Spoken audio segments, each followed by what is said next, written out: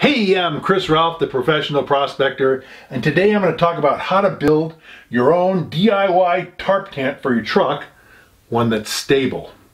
Now, I, I, I, I normally talk about finding gold, that's why I'm Chris Ralph, the professional prospector, but uh, on a recent pro gold prospecting trip, I went out and I was out with a friend and I pitched my tent out there. We had a beautiful park-like area and uh, I got it up and I thought, well, I'll finish putting everything out uh, later today because we wanted to go prospecting.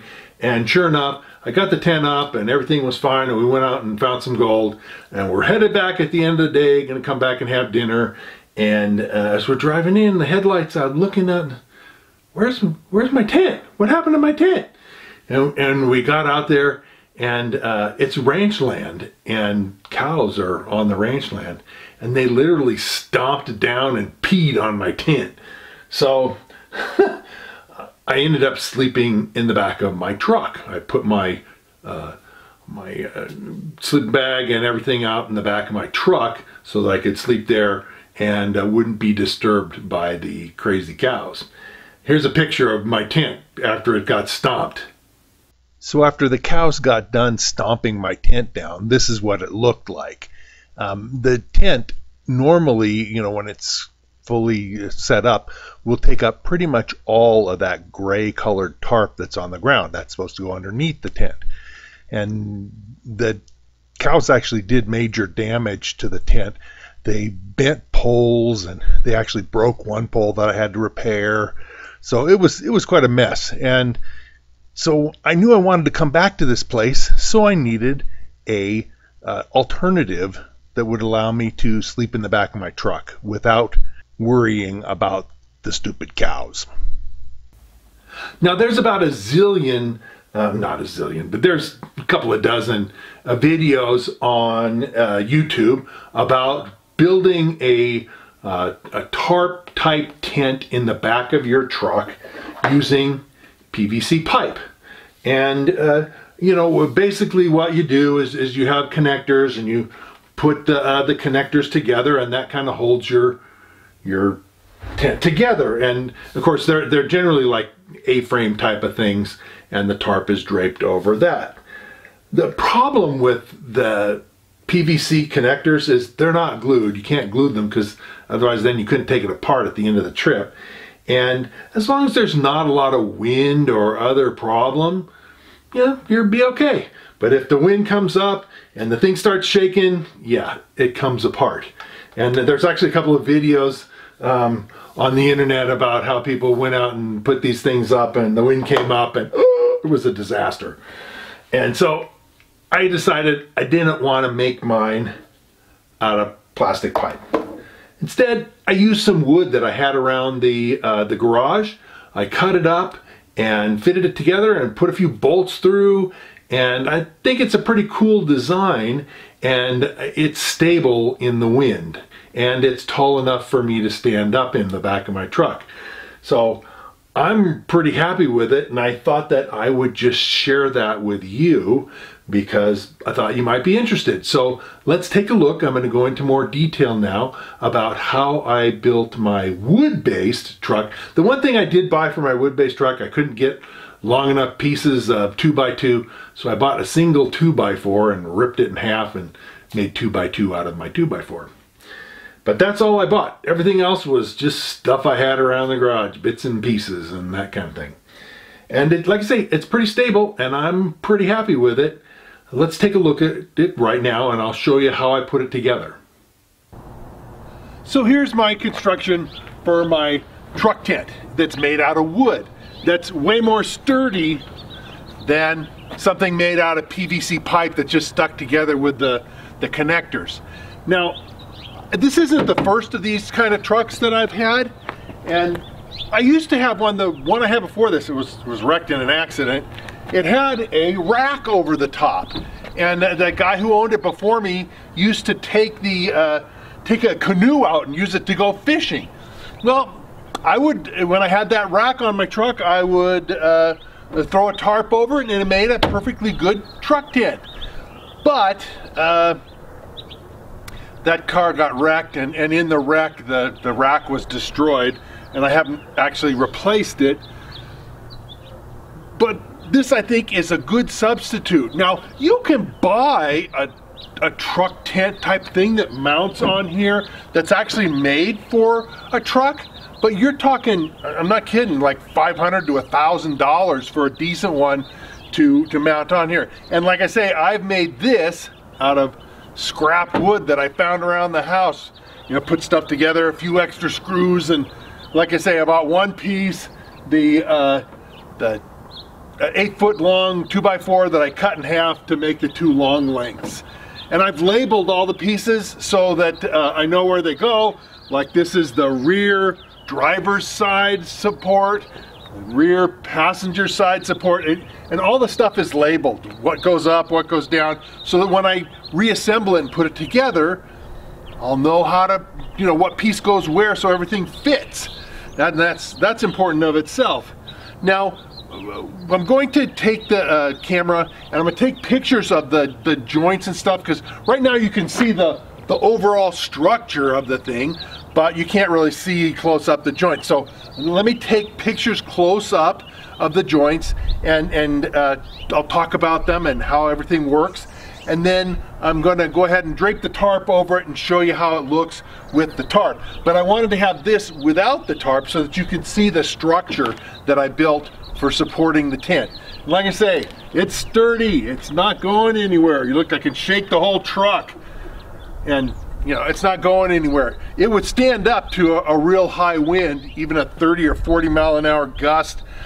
But the problem with with any kind of tent even if you had a, a professionally made one that was made for this and you spent a thousand dollars on it, it still would be an issue of when you have real high winds, the tent sides are gonna make a lot of noise. Even if it stands up and holds up real good and it's sturdy, you're still gonna have a, a lot of noise. One of the things you might notice too is that the back one is higher than, than the uh, rear one, or the front one is higher than the rear one. Um, and that's to allow for a little drainage. So if I'm out someplace and you know, if there's gonna be some giant storm, I'm probably not gonna go camping. But if there's some little oh shower that comes through, you know, we've got a drainage and it will all drain off and come out the back here. When I sleep in there, when I put my cot in, I'll put my cot toward the head, toward the cab, and my feet toward the, the tailgate.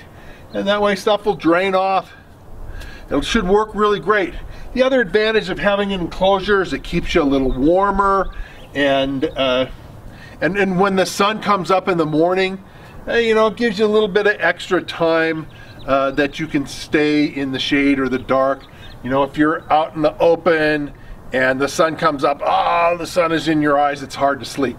So a lot of advantage to a truck tent and uh, I think that you'll like a wooden structure like this one a lot better than uh, those crazy PVC pipe ones.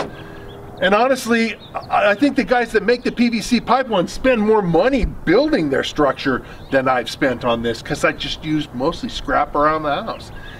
So let me give you a close-up of the, the joints and how I joined all the wood together. We'll talk about that and then I'll show you the tarp. Here's a close-up look of how I attached the long eight foot uh, support pieces to the vertical support pieces that hold them up. And you can see the, the vertical piece has two thin pieces of wood. These are just molding that I had that are screwed into the uh, the two by twos that are the vertical supports, and then a hole drilled in the top of it uh, that links through. And uh, you can't see it very well, but that's actually a wing nut that is holding the screw on so you can just put it in through hold it uh, tighten it down with the wing nut and that's sufficient to get the job done. And it actually makes it very solid but it's very simple and easy to assemble. And here's another shot of the same thing from the passenger side just showing how easily and quickly this whole thing assembles together. It uh, was very simple and easy to put together, easy to use. So here's the attachment at the uh, vertical post on the lower part and on the driver's side. And you can see uh, that I actually had to cut out a little bit of a notch here just because the 2x2s and the ripped 2x4, which is the long piece there, uh, the RIP 2x2s are a little bit narrower and so I cut a little bit of a notch on either side but it actually just makes everything fit together more easily. And uh, it, it's just an easy way of putting things together. You can see the wing nut on this one more plainly. And then you can barely see that uh, the last piece on the end there the cross piece is screwed in. And I have it so that the uh, long piece hangs out a little bit over the bumper so that uh, you know if I have my cot inside the truck bed and it should rain or a little bit get some dew or something like that, it won't get on my cot or my sleeping bag. Here's a close-up just to show how I attach the cross pieces. You can see that this one is actually just two pieces of molding that are screwed together uh, to give it a little bit more rigidity. And then uh, I have a, a, preset screw hole and a, a long enough screw and I can just take a uh, cordless screwdriver and zip zip and put these in. And that's how all the cross pieces are attached to the main piece there. It's just they're put on top and screwed in with a wood screw. And finally here's a shot to show how I attach the vertical pieces into the stake bed. It's just a simple little wedge that I made. Uh, it's a low angle wedge and uh, it works really well. Just a few light taps with a hammer, and this thing is in there, good and solid, and uh, in, in a uh, position that it's just not going to come out uh, without a little bit of effort.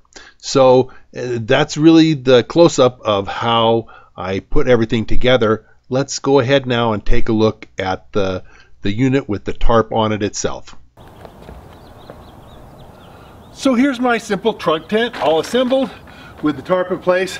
You can see now why I wanted to show you the structure without the tarp in place because you can't really see the structure very well.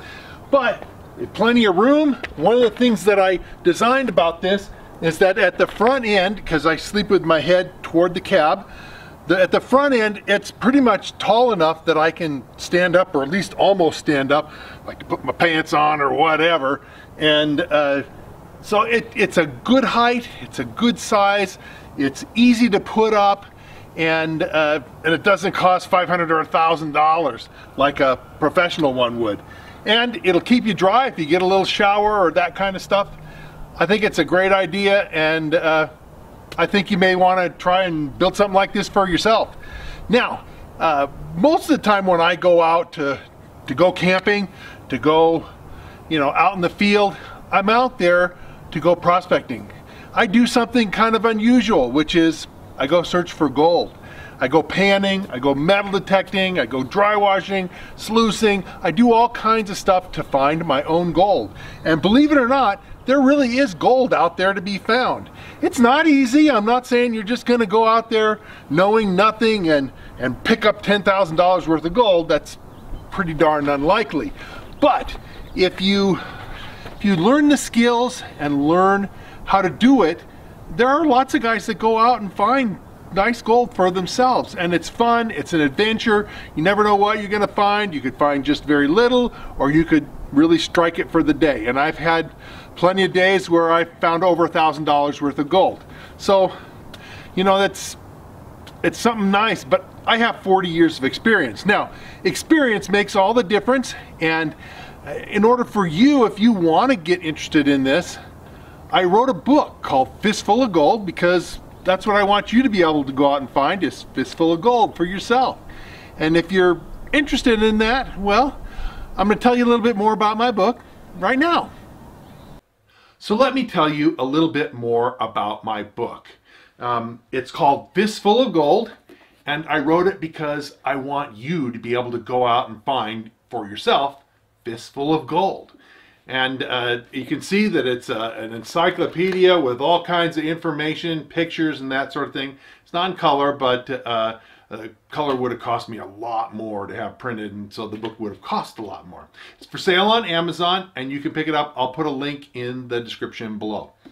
I also serve as the editor for a, a, prospecting magazine. It's ICMJ's Prospecting and Mining Journal. And honestly, you should check that out. We got stories uh, and information, legal stuff, everything you know to increase your skills as a prospector. I write articles in this every month, and a lot of other very experienced prospectors contribute to the magazine as well. So check the magazine out. Also, I have a website, and the website is uh, at nevadaoutbackgems.com. I'll put a link for it in the description below, but there's gobs of information there that you will find useful in your prospecting efforts. Finally, I want to say that I really appreciate your comments and thoughts and even a positive criticism. Don't come on there and just toss out insults because I'll just delete your comments. But if you've got uh, helpful things to say and questions to ask, do write and, and put those in the comments because I answer my comments to people and uh, you'll hear from me in, in you know, in, in responding to you. Uh, so if you've enjoyed this video and you like what you see and you're interested in uh, finding out more, well then sign up, subscribe, and hit the, uh, the notification bell so they'll let you know when I post new videos and you know like it and share it if again you, you see stuff that you really are excited about and I'll be coming out with lots more new videos and so we'll see you again real soon.